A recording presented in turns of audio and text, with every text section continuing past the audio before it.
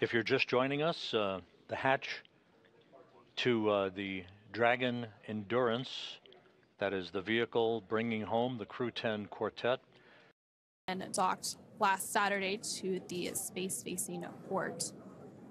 And following that physical separation, which we are physical separation confirmed at 5:15 p.m. Central Time, 6:15 p.m. Eastern Time, as the station and Dragon flew 260 miles over Jakarta, Indonesia. And undock burn number two has been completed. And depart zero burn now underway. You can see those Draco thrusters doing their thing, opening up uh, an increasingly quicker separation rate between Dragon and the station. Depart zero burn complete. Depart burn zero complete. Performance nominal.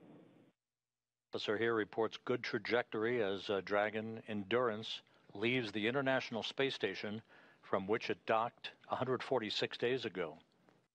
Coast of California, Saturday morning.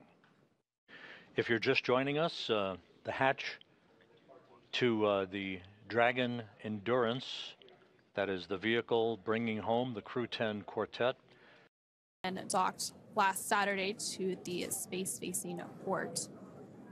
And following that physical separation, which we are physical separation confirmed at 5:15 p.m. Central Time, 6:15 p.m. Eastern Time, as the station and Dragon flew 260 miles over Jakarta, Indonesia.